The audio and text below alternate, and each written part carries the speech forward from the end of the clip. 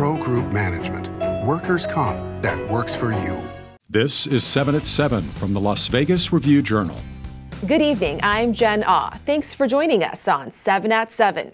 Tonight, we're starting off with entertainment, sponsored by DiscoverNevada.com, brought to you by Travel Nevada. Resorts World will soon open to the public, and some of its features are mind blowing, including the pool area, which is a whopping five acres. Review Journal's Renee Summerhour gives us a sneak peek before the grand opening tonight. Good evening, Renee. Good evening, Jen. Review Journal ace drone pilot Michael Quine got this stunning footage of the pool area at Resorts World. So here are some fun facts for you. Now, the pool area covers five and a half acres and features over 21,000 square feet of water. There are actually nine bodies of water on the property. That includes the main three pool complex, a family pool, and a VIP combo for adults only. That features the only infinity pool on the Las Vegas Strip. Now, if you get hungry while you're there, Resorts World has partnered with Grubhub. Guests will be able to place an order from 40 food and beverage spots and have it delivered straight to the pool complex. Here's another fun fact. Some of the palm trees have been on the site since it was home to the legendary Las Vegas casino, the Stardust. It's all part of the $4.3 billion project that crossed the finish line tonight. Jen?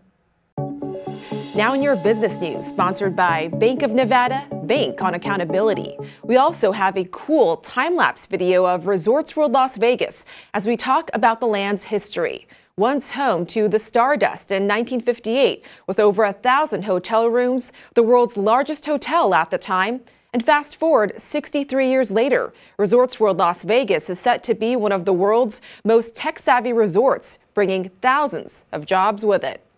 Now, we've already talked a lot about the economic impact of Resorts World, but how about the food? Review Journal's James Schaefer gives us a taste. Welcome to Flavortown with 40 food and beverage options, including Filipino, Japanese, Indian, and Singaporean. Plus, there's a unique one, Texas barbecue, with the occasional Chinese and Vietnamese twist. People may be talking about the tech and the casino floor resorts world, but the food is something to behold. Food hawkers from Singapore, Malaysia are shoulder to shoulder with guys like Las Vegas's own Chef Trees. They're from Tokyo, they're from Beijing, and then there's this guy from the east side of Vegas. So I don't know. I don't know if uh, you know. It's a very high bar that we're being put against. We want to make sure that we're we're uh, living up to the reputation of Vegas as bringing it and coming with excellence from day one. We also asked about their partnership with Resorts World. They really trust what we do. They've been to Esther's. They know we're, we're a known entity for them. They knew we would just really dedicate ourselves and knock it out of the park. For the Las Vegas Review Journal, I'm James Schaefer. Now to your weather, sponsored by One Hour Air. No matter the season, no matter the reason, One Hour is here for you. Check out this rain in the eastern and Warm Springs area.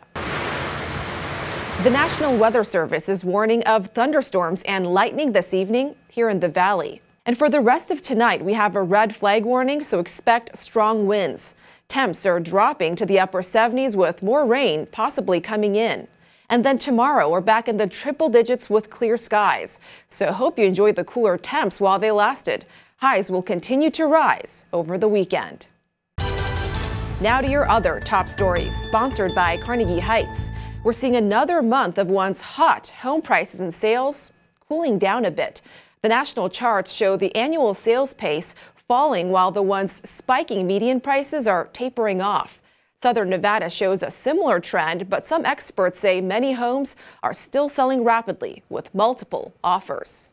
And over at Allegiant Stadium, the Raiders president is reporting strong sales of parking passes, which go for 40 to 100 bucks a game. Some parking lots even sold out during the first week of sales, and a majority of the spots do allow tailgating.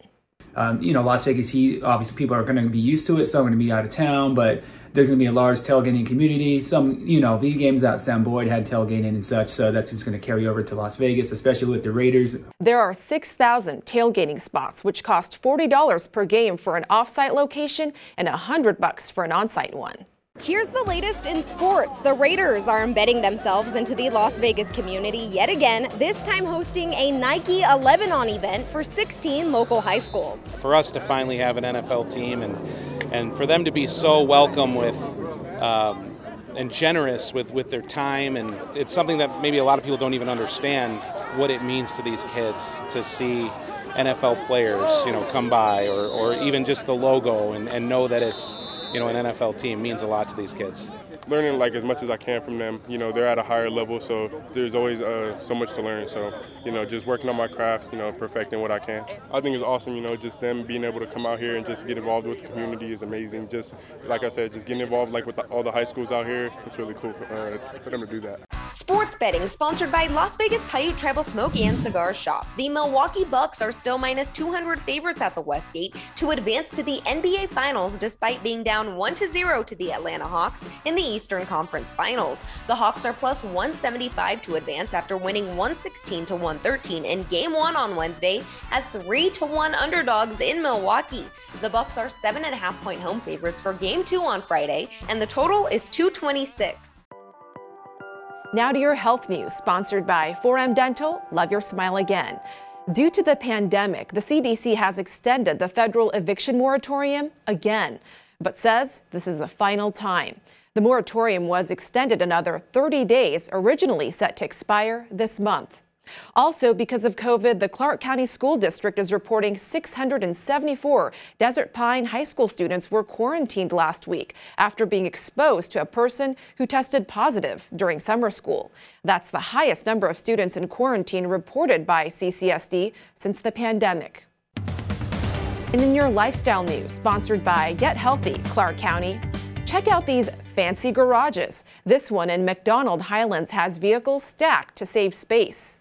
And this Vegas garage features a bar and games and a climate controlled showroom with enough space for eight vehicles. And we're featuring unique downtown homes that aren't high rises in Las Vegas, like this wrought iron staircase in this home on Bonita Avenue with its tall windows. And this 1970s home in the historic Beverly Green neighborhood, upgraded with smart home technology and a hidden panic room. Thank you for watching 7 at 7. We'll be bringing you more continuous coverage of Resorts World Las Vegas through our website, lvrj.com. It's set to officially open to the public at 11 tonight. I'm Jen Ah. We'll see you later. Review Journal Studio, sponsored by Adam Kutner. Get the maximum settlement as quickly as possible. This 7 at 7 update, sponsored by Pro Group Management. You're watching 7 at 7 from the Las Vegas Review Journal.